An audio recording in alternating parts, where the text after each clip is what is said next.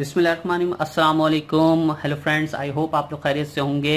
मैं हूँ आपका होस्ट हसन और आप देख रहे हैं my smart experience YouTube channel और यहाँ पे जो मैं आज आपको बताने वाला हूँ, वो फ्लैरिंग टूल के हवाले से बताने वाला हूँ और यहाँ पे जो है डिफरेंट दो किस्म के मेरे पास टूल मौजूद हैं और आज हम इन दोनों टूल में आपको फ़र्क बताएँगे जो जो आपके कॉपर ट्यूब पे फ्लेयर बनाता है, वो जो टूल यहाँ पे रखे हुए हैं, दो किस्म की है। ये है एक कंप्लीट टूल ये एक कंप्लीट टूल ठीक है, यहाँ पे जो है, ये है पाइप को जो है गिरफ्त करने के लिए होता है और ये जो है ये फ्लेयर बनाने के लिए होता है। इसी तरह यहाँ पे आप देख रहे हैं, ये पाइप को जो है पकड़ने के लिए होता है, गिरफ्त करने के लिए होता है, पाइप को ताकि पाइप इधर उधर सरके ना, और ये होता है फ्लेयर बनाने के लिए। तो यहाँ पे आप देख रहे हैं, ये एक चीज़ मौजूद है, यहाँ पे आप देखें, ये कटर है, ये पाइप काटने का कटर है, इसको आप घुमाते चले जाते हैं तो वो आप पाइप इससे बहुत आसानी से काट सकते हैं। और ये जो है टेपलोन कहलाता है, ये पाइप के ऊपर लपेटा जाता है, कहीं से लीकेज ना हो। अगर आप एक दो राउंड उसको दे देते हैं, तब भी आपका जो है पाइप से लीकेज नहीं होगी, वैसे भी नहीं होती लीकेज, अगर आप वैसी खाली लगा दें, लेकिन अगर आप ये टेपलोन के एक दो चक्कर लपेट दें तो आपका जो है सिक्योर हो जाता है पाइप, और ज़्यादा कोई चांसेस नहीं होते गैस लीक होने के। ये दो किस्म के पाइप होते हैं, इसमें एक पतला, एक मोटा। ये वाला टूल जो है काफ़ी अच्छा फ्लेयर नहीं बना पाता है, और यहाँ पे बास औकात इसमें जो है टाइट नहीं हो पाता है, पाइप स्लिप कर जाता है इसमें से। अगर आप टाइट भी बहुत ज़्यादा करते हैं, दो इसमें वो दिए हुए इन्होंने टाइट करने के, और इसको फंसाने के लिए ये वाइस जो है कभी कभी टेढ़ी हो जाती है तो आपको राइट टूल चूज़ करना होता है। सही टूल आप चूज़ करेंगे तो आपका फ्लेयर जो है कॉपर पाइप पे बहुत ज़बरदस्त बनेगा और बहुत आसानी से बनेगा। तो यही मैं डिफरेंस इसमें बता रहा हूँ आपको ये टूल अगर आप चूज़ करते हैं तो इससे आपका हो सकता है कि फ्लेयर में जो टेढ़ा हो जाए या फ्लेयर बनने में कोई प्रॉब्लम हो जाए, क्योंकि सही तरह फिट भी नहीं होता। और अगर आप ये वाला टूल लेते हैं तो इससे आपका फिर भी राइट बन जाता है। ये जो टूल है, एक दरमियाने दर्जे का टूल है मीडियम टूल कहलाता है। इससे हाई लेवल के टूल भी आते हैं, बहुत अच्छे अच्छे किस्म के भी आते हैं, लेकिन यहाँ दरमियाने दर्जे का यूज़ किया है और बहुत अच्छा है ये। प्रीवियस वीडियो में लिंक पे डिस्क्रिप्शन कर दूँगा। मैंने इससे जो है दो फ्लेयर बना के आपको दिखाए हैं, इन दोनों पाइप के ये उसी से बना हुआ है फ्लेयर और ये टूल आप यहाँ देखें। अगर आप ये टूल देखते हैं तो इसका थोड़ा सा डायमेंशन जो टेढ़ा सा है। अगर आप इस तरीके से इसको फंसाते हैं तो ये देखें, आप थोड़ा सा जो है ना, ये मैंने अंदाज़ा लगाया कि थोड़ा सा टेढ़ा है और जब ये वाइस आप घुमाते जाते हैं तो ये जो है ना पाइप को टेढ़ा कर देता है। बाज़ात ये जो है सीधा भी आता है, लेकिन इसमें ज़रूरी नहीं है। ये जो है, इन्होंने ये जो है, काफ़ी सही नहीं दिए हैं। इसके बनाया ढाला हुआ जो इसकी डाइस तो ये सही नहीं ढाला है। तो ये जितनी भी कोशिश कर लें तो ये फ्लेयर सही नहीं बना। तो ये वाला टूल आप चूज़ करें तो ये वाला फ्लेयर सही बनाता है, क्योंकि ये जो है ये इसका जो प्रॉपर प्रॉपर जो है गिरफ्त करता है आपके पाइप की इसको जो है, आपने बहुत ही हल्के से जो है पाइप के अंदर डाल के इसको कसना होता है। और हल्के से आप इसको कस दें जितना आप ज़्यादा ज़ोर देंगे तो पाइप दबने का ख़तरा होता है फिर नट जो है ये चढ़ने में थोड़ी प्रॉब्लम हो जाती है। तो मैंने ये तो वो मैं अभी आगे भी आपको दिखा देता हूँ शो कर देता हूँ कि किस तरीके से मैंने बनाया चले तो देखते हैं कि किस तरीके से हमने फ्लेयर बनाया है। जो है एक फ्लेयरिंग नट है जो पाइप को, दो पाइप को ज्वाइंट करने के लिए यूज़ होता है। सकते हैं ये एक छोटा है जो पतले पाइप को कनेक्ट करने के लिए होता है।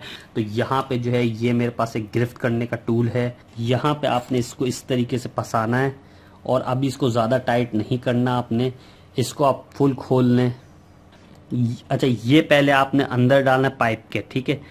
अब आपने ये देखें, ये अंदर कर दिया इसके अंदर, फ्लेयर के अंदर, और ये आपने थोड़ा सा अंदर करके इसको और इस तरीके से घुमा दिया, ठीक है? और इसको इस तरीके से घुमाने के बाद अब इसको आप जो है ना, टाइट करेंगे। इतना आपने टाइट करना है कि ज़्यादा पाइप भी दबे नहीं और आपका फ्लेयर भी इजीली बन जाए। तो यहाँ पे मैंने गिरफ्त कर ली है इसकी देखे आप बिल्कुल इस तरीके से आपने बिठाना होता है फ्लेयर बनाने के लिए।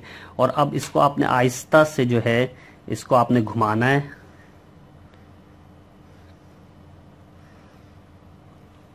और ये ध्यान में रखिएगा, पहले आप नट डाल दें। नट के बाद ही फ्लेयर बनता है, क्योंकि नट निकलेगा नहीं। जब तक फिर आपको पाइप काटना पड़ जाएगा, अगर नट आपने नहीं डाला होगा तो ये आपका फ्लेयर बेकार हो जाएगा। ठीक है, और हो सके तो इसके ऊपर थोड़ा सा ऑयल भी लगा दें। आप ये देखें अच्छा खासा बन गया है। अभी मैं और इसको घुमाता हूँ। हल्के हल्के आपने लेके जाना होता है, इसको बिल्कुल स्लो स्लो तरीके से, ताकि पाइप भी फटे नहीं। अब हम चेक करेंगे कितना बन बिल्कुल इस वक्त सही और कहीं से ही जो है ना, फटा नहीं होना चाहिए पाइप। बिल्कुल चिकना होना चाहिए ये अंदर फ्लेयर। और बिल्कुल कम इसका इतना आप बनाना है कि बिल्कुल, और सेटिंग से हर जगह से बिल्कुल क्लियर होना चाहिए। कहीं से ज़्यादा दबा हुआ नहीं हो, कहीं से ज़्यादा उभरा हुआ नहीं हो। बिल्कुल प्लेन होना चाहिए। इसको टूल को सीधा फिक्स करिएगा ताकि सही से ये जो है ना फ्लेयर बन सके। और इस वक्त ये बन चुका है और यहाँ पे देखें मैंने साइड से हाथ लगा के देखा, कहीं से फटा हुआ नहीं है फ्लेयर और ये भी देखें आपके इसके अंदर बिल्कुल सही बैठ रहा है। ये देखें, बिल्कुल यहाँ पे बिल्कुल फिक्स हो गया। अब ये कंप्लीट फ्लेयर बन गया और हमें ये भी ध्यान रखना पड़ता है कि नट भी अगर इसको हम ज़्यादा बना देंगे तो नट जो है ना, वो भी नहीं ऊपर तक आएगा नट ठीक है? और आपने ये ध्यान रखना कि ये ज़्यादा दबे नहीं पाइप, इसको ज़्यादा तरीके से टाइट नहीं करना आपने। ठीक है? अब यहाँ पे आप देख सकते हैं कि ये जो है, इस वक्त, ये देखें, बिल्कुल सही, इसको ऊपर चढ़ा देता हूँ नट को पूरा, ये देखें, बिल्कुल नट के ऊपर आ गया फिक्स कहीं से कोई कहीं से कोई फटा हुआ भी नहीं है पाइप। बिल्कुल सही इस वक्त फ्लेयर बन चुका है। तो इस तरीके से ये फ्लेयर बनाया जाता है। ये जो थोड़ा सा नीचे हुआ हुआ है और यहाँ पे देखिए, बिल्कुल इसके साथ फिक्स हो गया है। बिल्कुल ये देखिए, ये इस वक्त बिल्कुल कंप्लीट इस जगह तक बैठना चाहिए। ये ये हिस्से पे, ठीक है? तो ये हिस्से पे आप देखें, ये बिल्कुल आ गया, बैठ गया है देखें, बिल्कुल इससे पे। तो यहाँ पे अब इसको हम निकाल लेते हैं। तो यहाँ आपने देख लिया कि हमने आपको पूरा इसके ऊपर कॉपर पाइप के ऊपर फ्लेयर बना के दिखाया और आपको बिल्कुल कंप्लीट सही फ्लेयर बनाया उसका। और यहाँ पे आप देख सकते हैं कि ये जो है, यहाँ पे दोनों साइड मैंने बना लिया है। एक इस साइड पे बना लिया है और एक इस साइड पे बना लिया है। दोनों साइड पे ये जो है मैंने जो है ये टेस्टिंग पर्पज से बनाया है। ये पूरा एक कॉपर पाइप का है पीस एसी की टेस्टिंग के लिए ये मैंने जो है नट लगाए हैं कि आप यूनिट को अपने पास रख के, करीबी रख के इसको टेस्ट कर सकें। अगर कोई ओल्ड यूनिट आप लेकर आते हैं तो उसमें स्प्लिट को मुकम्मल चलाने के लिए मैंने बनाया है। और ये जो है, तीन फिट का जो है ये पाइप इसको जो है मैं नेक्स्ट वीडियो में आपको ये भी दिखा दूँगा कि किस तरीके से मैं टेस्ट कर रहा हूँ। और ये बहुत आसानी से बना देता है आपका ये प्लेयर और इसको फिक्स भी बहुत आसानी से हो जाता है। इस तरीके से आप फिक्स कर देते हैं इसको। देखें, कहीं से भी जो है ना, बिल्कुल एकदम फिक्स हो जाता है ये। और जब आप इसको टाइट करते हैं कॉपर रख के तो बहुत आसानी से ये फ्लेयर बना देता है।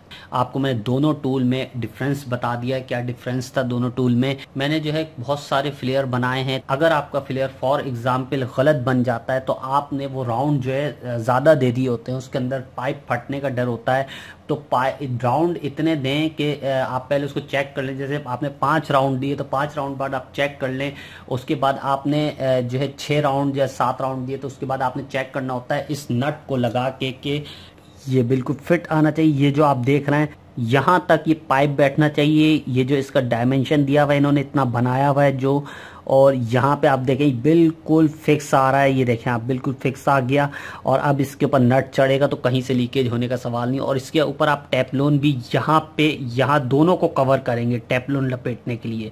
दोनों को एक राउंड दो राउंड दे के और इसको आप नट को ऊपर चढ़ा देंगे। तो आपकी कहीं से आपको चेक करने की भी ज़रूरत नहीं पड़ेगी कि इसमें आया कि लीकेज है भी मौजूद या नहीं है लीक आई होप ये आपको वीडियो पसंद आई होगी।